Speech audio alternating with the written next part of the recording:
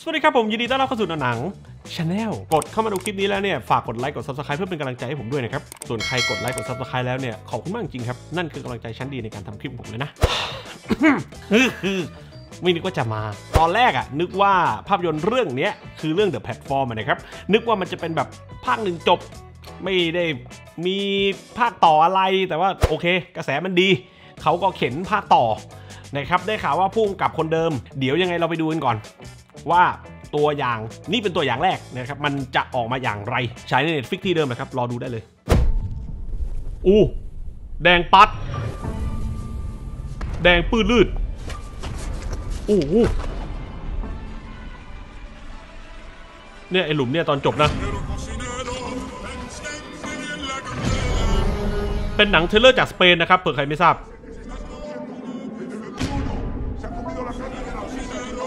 โ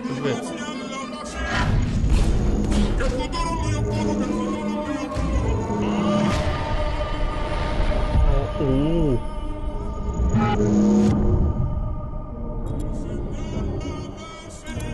เหมือนสถานการณ์จะบานปลายขึ้น แล้วพาเราไปเห็นอะไรที่มันดุขึ้นเยอะขึ้นนะครับ เนี่ย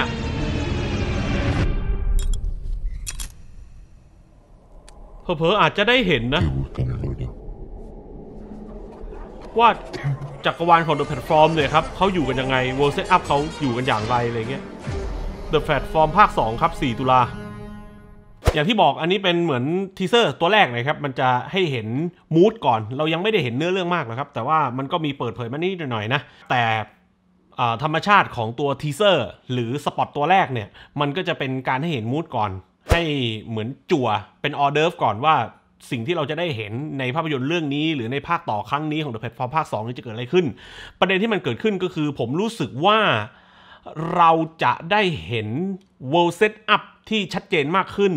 ตอน The Platform ภาคแรกเนี่ยเรารู้แค่ว่าคุกแนวตั้งถูกไหมครับ ทุกคนเก็ตหมดแล้วว่าที่นี่คือคุก แล้วกฎกติกาคืออย่างไรนะครับ ทบทวนสั้นๆ ก็คือไอ้คุกใน The Platform เนี่ยมันเป็นคุกแนวตั้ง โดยที่คุกนี้จะมีรูอยู่ตรงกลางไอ้รูตรงกลางนี่เป็นรูที่ไว้สำหรับส่งของ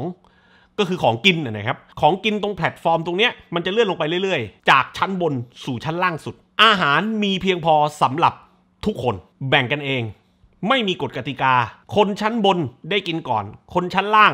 ก็ได้กินต่อจากชั้นบนถัดๆลงไป สิ่งที่มันเกิดขึ้นในเดอะแพลตฟอร์มภาคแรกก็คือ ส่วนใหญ่แล้วคนที่อยู่ชั้นล่างๆ ไม่ต้องถึงชั้นที่ร้อยนะครับ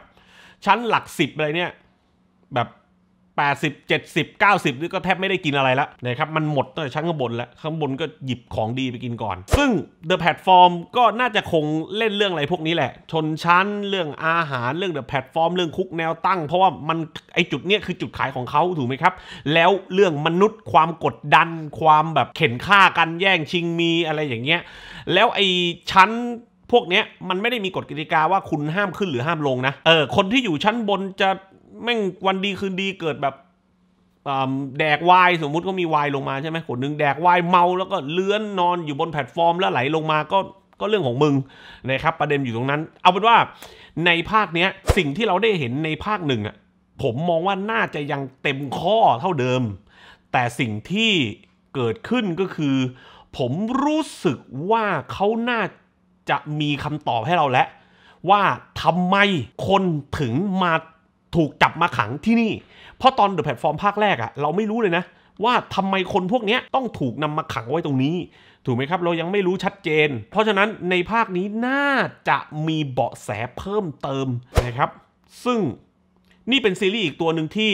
ตอนที่จบภาคหนึ่ง ใจผมอะครึ่งครึ่งครึ่งแรกก็คือจบภาคหนึ่งจบไปเลย มันเหมือนเป็นหนังแบบหนังภาคเดียวไม่ต้องมีทำภาคต่อไม่ต้องอะไรอะไรเงี้ยแต่ด้วยยุคสมัยเนาะหนังทำกำไรได้มีผู้คนชอบ ก็ควรทำภาคต่อ mindset ของผู้จัดหรือนายทุนเขามี mindset แบบนั้นก็โอเค มันเกิดภาค 2 เกิดขึ้นถือว่าตัวสปอตแรกเนี่ยทำออกมาได้น่าสนใจ อัปเดตข้อมูลให้นะว่าตัวผู้กำกับยังเป็นคนเดิมนะในแพลตฟอร์ม2นะครับคือ Galder Gaztelu-Urrutia นะครับยังเป็นคนเดิม แต่เท่าที่ผมเห็นเนี่ย และไปเช็คใน IMDB นะครับผมก็คือตัวละครเปลี่ยนใหม่หมด มีความเกี่ยวข้องกับตัวเก่าไหมไม่รู้นะครับ แต่ว่าตัวละครหลักคนเก่า ไม่ได้มีรายชื่อในภาคนี้ แล้วเหมือนกับว่าภาคนี้จะเปลี่ยนตัวละครหลักไปเลยด้วยซ้ำไปนะครับ ผมเห็นตัวที่เขาโปรโมขายกันอยู่ก็มีผู้หญิงกับผู้ชายคนนี้นะครับนี่แหละที่มีปัญหาเรื่องกินหน้าพิซซ่าอะไรกันเนี่ย แล้วก็ในนี้คือเต็มไปด้วย พูดเลยนะ เต็มไปด้วยความรุนแรง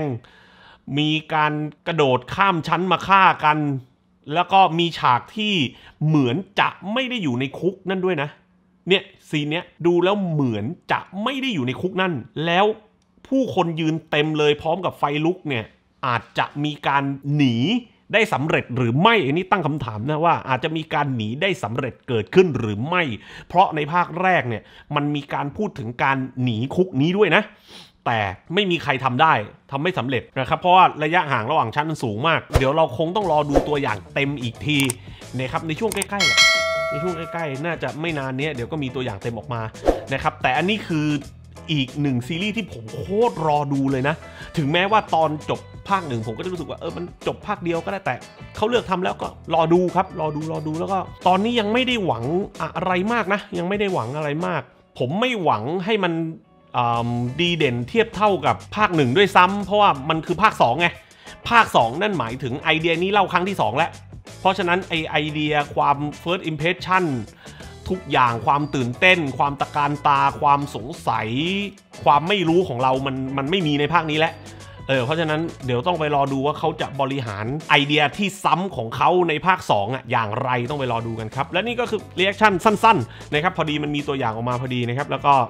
ถ่ายเ reaction มาคุยกับทุกคนเพราะผมผมว่ามันน่าสนใจดีนะครับผมแล้วก็ใครรู้สึกอย่างไรกับตัวอย่าง The Platform 2นี่ตัวอย่างแรกนะ ก็ลองคอมเมนต์ดูด้านล่างครับ ว่าคุณรู้สึกอย่างไรเอิ่มรู้สึกโอเคไหม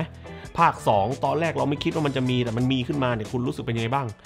นะครับ คาดหวังไหมอืม ลองคอมเมนต์คุยกันก็ได้คาดหวังไหมภาพยนตร์ทุกเรื่องครับไม่ว่าจะเป็นภาพยนตร์ที่ครบทับใจหรือเฮียจับใจก็ตามมันจะตามหาคนที่คุยกับมันเสมอ คุณจะรู้ได้ไงครับก็ต้องไปดูด้วยตาคุณเองแล้วคุณจะรู้ว่าภาพยนตร์เรื่องนั้นมันคุยกับคุณหรือเปล่าสำหรับผมวันนี้ลาไปก่อนครับสวัสดีครับ